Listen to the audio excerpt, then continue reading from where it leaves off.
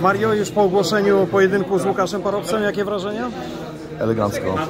Cieszę się, że e, nareszcie wyszedł finalista. Czekałem na to. I, i czy to by był Hunter, czy to by był e, parowiec, czy jest parowiec, byłby inny zawodnik.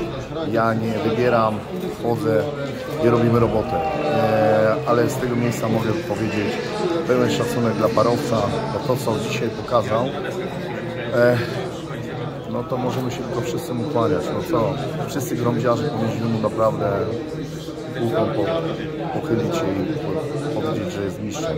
On już jest dla mnie mistrzem. To, co pokazał. Ale jak rozumiem, wyjdziesz bez respektu. E, ja wyjdę e, robić walkę. I się napieprza, nie odpuszczę nic. Tak samo on, na pewno.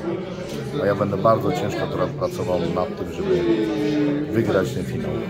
Patrząc na, dzisiejsze, na dzisiejszy pojedynek, na jego wytrzymałość, co może być kluczem do zwycięstwa? Nie mogę zdradzić. Ale już przejrzałeś? Mam plan. Masz plan. Słuchaj, e, przygotowania jak będą wyglądały?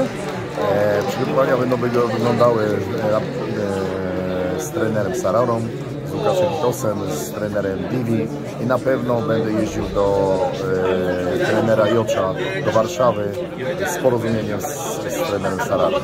To w takim razie miło Cię będzie widzieć w Warszawie. Chętnie popatrzę jak trenujesz. Planów nie będę zdradzał oczywiście, ale, ale chętnie przyjrzę się jak, jak trenujesz. No i co? Powodzenia, dajcie dobrą walkę, przynajmniej tak dobrą, jak, jaką ostatnio, jaką przed chwilą żeśmy zobaczyli. E, będę robił wszystko, żeby był- było to naprawdę piękne show i żeby nikt tej walki nie żałował. Ani ja, ani parowiec. Naprawdę pokażemy kawał dobrego serca i charakteru i pięknej walki. Mario, dziękuję bardzo. Dziękuję Powodzenia. bardzo. Dobranoc, pa.